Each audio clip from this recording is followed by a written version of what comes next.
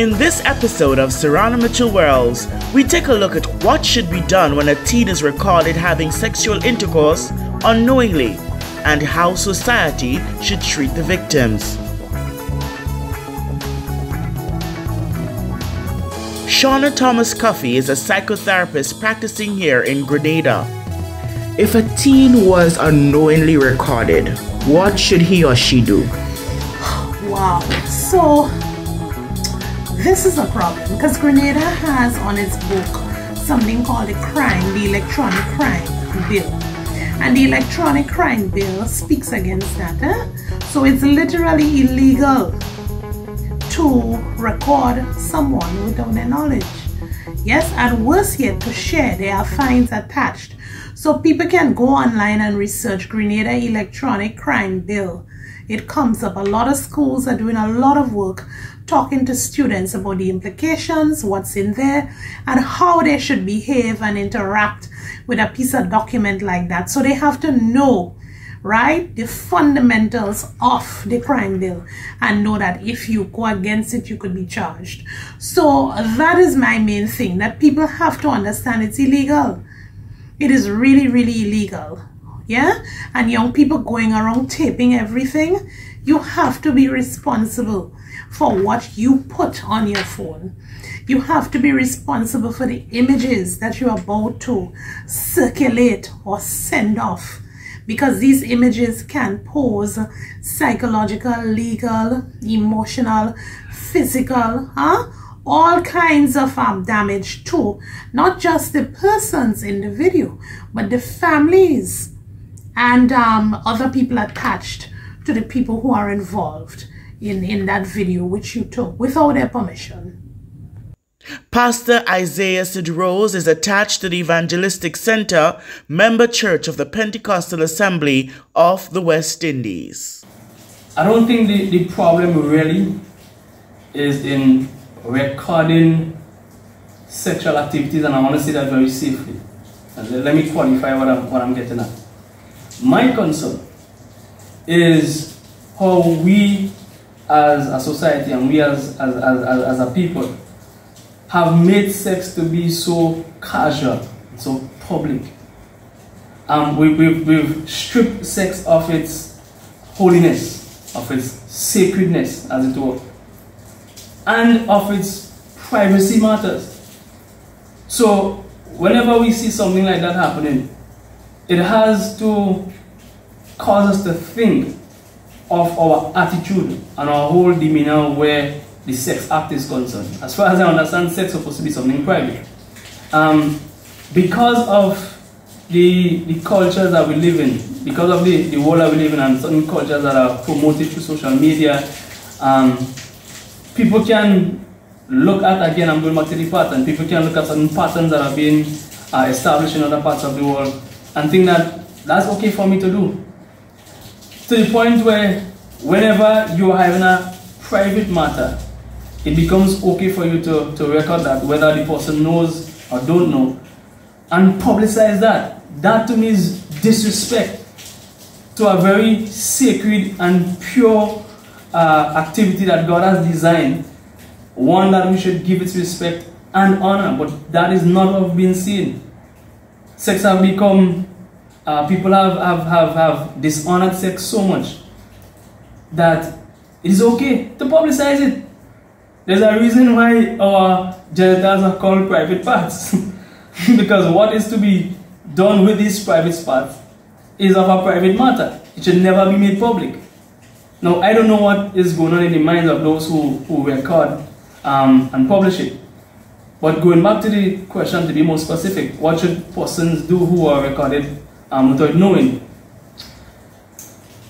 They should seek some form of help um, because I could only imagine the, the, the degree of shame that could come with that. Again, especially if you're the one who have a high esteem to the privacy of sex. And your private matter is now in the public.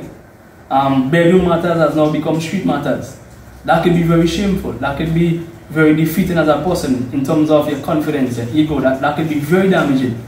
So someone who is recorded without knowing um, should seek some form of help, um, whether it's professional help through counseling or some form of spiritual help, to, to help them get through that process of um, going forward. To help them through the process of knowing that it's not the end of the road. It might be, there might be a, a, a big detour in the road, but that's not the end of the road. Um, life continues and they have to continue living as a person and, and in, in, in as much as possible feel comfortable in themselves, um, feel valued because they still have value, um, they have much to offer, and not allow that one negative, perhaps a mistake, I don't know, um, to cause them not to be who they really meant to be. Um, but it's very concerning for me, honestly, that private matters become public matters.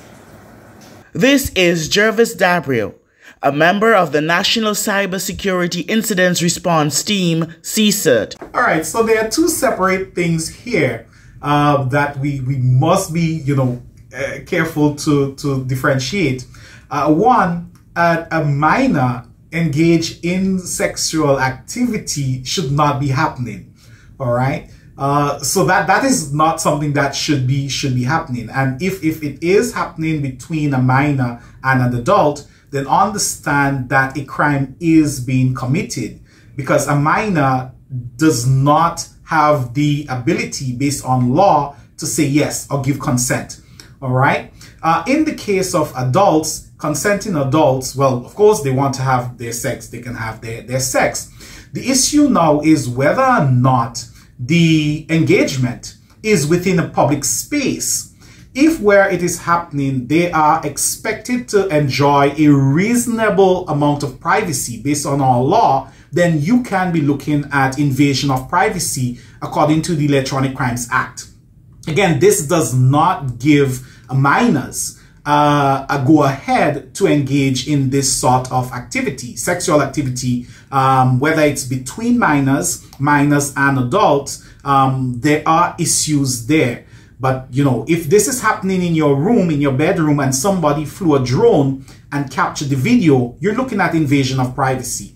Uh, if you are in a space where you find it uh, comfortable because of reasonable privacy to derobe based on the Electronic Crimes Act and somebody was to film or record that, a crime is committed. Uh, we should also be mindful that it is not legal. It is illegal to be posting uh, or, or, or, installing cameras in certain spaces. You should not have uh, cameras in a bathroom, for example. Uh, so if, if that is where the activity is happening, then you can be looking at invasion of privacy but again, understand um, sex involving minors, um, there is an issue with that act in itself outside of, of the invasion of privacy and the distribution of, of the video, which again could be a crime. Shawnna Thomas Cuffie. So, how do you think, or how do you suggest it be handled by parents, schools, authority, and society on a whole? The sharing of pornographic videos of teens, especially online. Well, first of all, I think an adult on receipt of a video involving young people, even if you decide to view it or you don't decide to view it, you should not share it. You should not share it. That's a responsible thing to do. Do not share. And then again, you have to realize that a video and images based on how it's captured, you're not looking at what's happened before, you don't know what's happened after, you don't know anything leading up to those images that you're seeing, right? So the authority, society, um, the schools on a whole, the schools can do more in terms of having maybe little workshops on the electronic crime bill, having um, the police officers coming and the people, you know, maybe um, some lawyers, past pupils attached to the schools and having them do some um, sensitization, awareness programs, educational programs on you know, social media responsibility. Because there are some things that are being seen and viewed in the videos. Um, the participants are sometimes willing participants. And of course, even if they approve the taping or don't approve the taping, we have some moral questions there. You know, some real deep moral questions.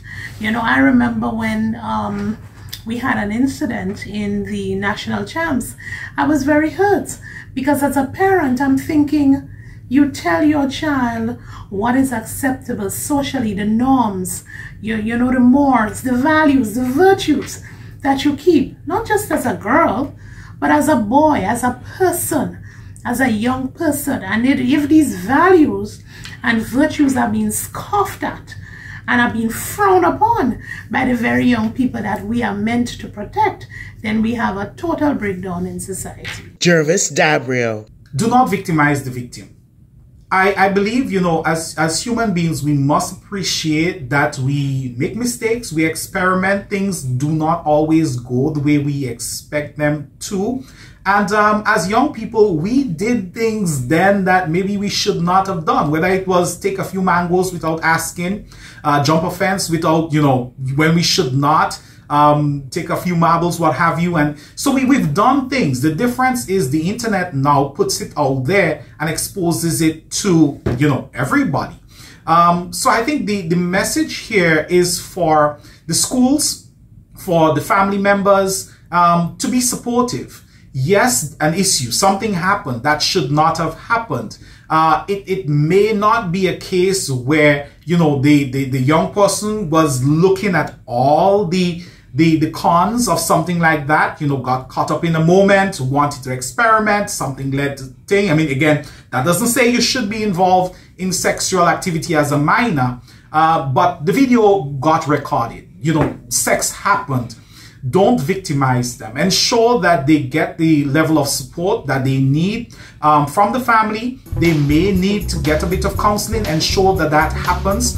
Um, schools should not be too quick to parade them in front of the, the student body, um, to shame them, because you you may be adding um, to the the mental anguish that that young person is is having. They will have to deal with um, in addition to the video circulating. So just be supportive, address the issue, yes, in a way that um, will encourage uh, their development, their growth, them seeing what you know they did wrong, uh, and being able to to move on. But generally, just don't don't victimize the experience. Thank you for viewing Sorana Mitchell Worlds. Until next time, be safe and take care of you.